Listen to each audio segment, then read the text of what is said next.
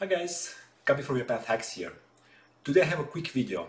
What are the process arguments we can set in Orchestrator when we are creating a process or setting up a trigger and when do they especially come in handy?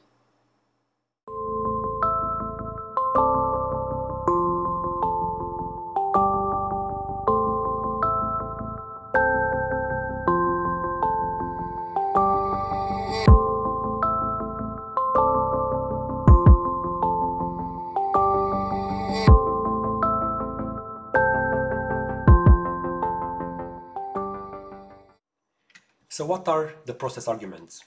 In previous versions of the UiPath platform, they were called process parameters, and they're passing directly from Orchestrator some values for the argument of the main file of the automation. They're basically nothing more than arguments, the ones we were probably already using heavily in our workflows in Studio, but now these ones are exposed directly to Orchestrator. Now why could this be very useful? I found it to be particularly useful when we think about rolling out an automation to different countries or different departments. If you can run an automation from the same tenant for different entities, you want to avoid duplicating the code, ideally, especially if you intend to keep the same version of the automation for all the parties involved. And duplicating the code makes it harder to maintain it later.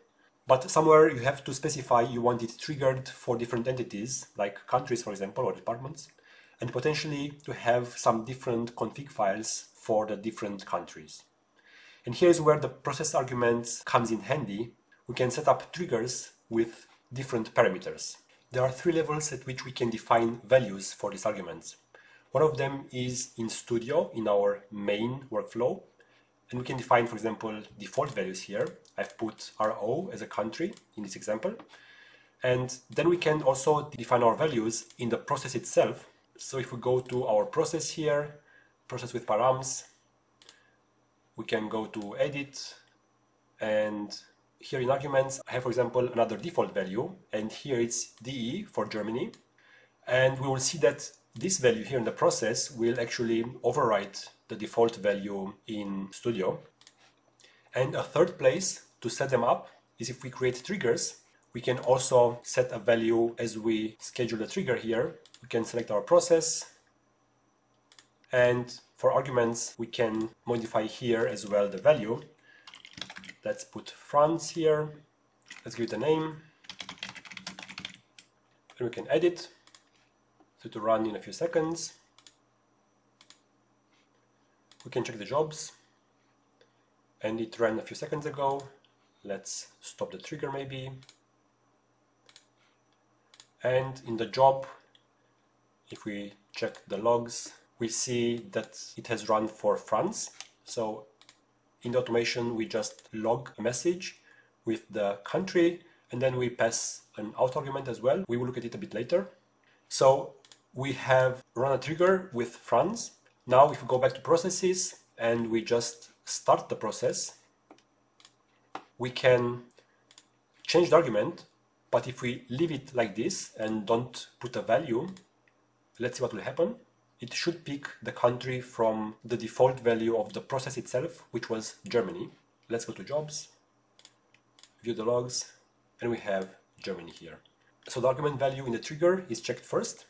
If there is no value defined, then it takes the value from the process. And if there's no default value there or no value given at runtime, then it takes the value given in Studio.